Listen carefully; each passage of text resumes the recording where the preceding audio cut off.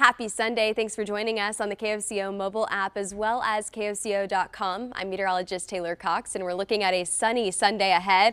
Lots of blue sky out there today. Temperatures are in the 30s this morning, but 40s and 50s this afternoon. A light wind is expected, only about 10 miles an hour here. Here's a look at your statewide highs today. A lot of us right around average. Our average is 54. Today our highs in the low to mid 50s.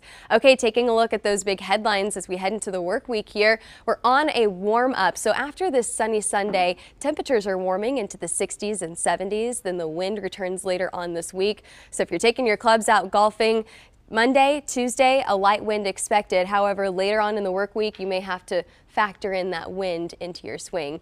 Okay, taking a look at the next five days here. 60s are expected on Monday. Look at those gorgeous temperatures on Tuesday and Wednesday. This cool down does bring those stronger winds. Now, we are not expecting any rain in this forecast here, and temperatures stay in the 60s through the weekend. But of course, for our full forecast, join us this evening here on KOCO.